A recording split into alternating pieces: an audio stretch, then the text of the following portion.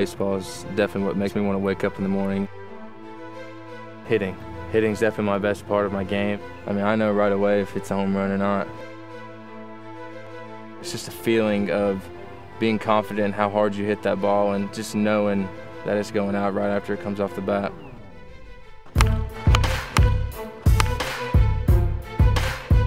You always got a good feeling when he's at the plate, you know, and I've seen him get some high-level arms come through and in those type games and some big situations. He loves that moment, he thrives in that moment, and he's successful in that moment.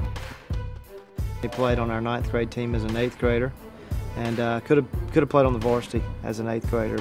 It was obvious that he was different than the other kids and other players that we had. I've not seen anything like it.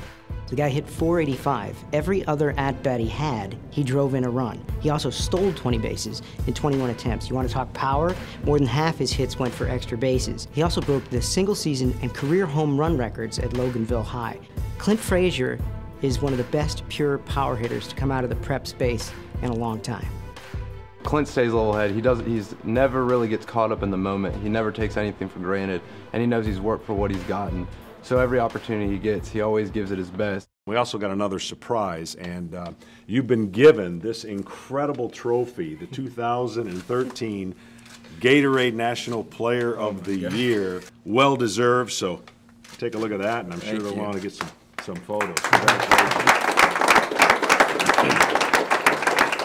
This is awesome. I could keep this.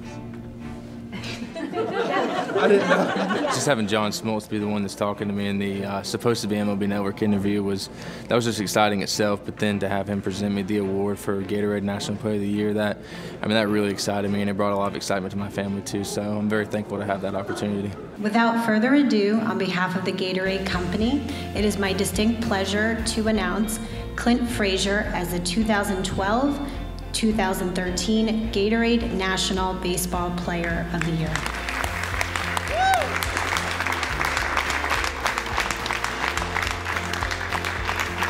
My impression of Clint is this is a kid that um, loves what he's doing, driven to play baseball, grounded, family, friends, support system all seems to be well in place. And you could see this bright future that I once had when I was thinking about playing Major League Baseball. And he doesn't care what the statistics say, he doesn't care what people say, that he's driven to do the thing that he loves. And I think that passion will carry him a long ways. He loves baseball probably more than anything. It's his passion. It's been his passion since he was little.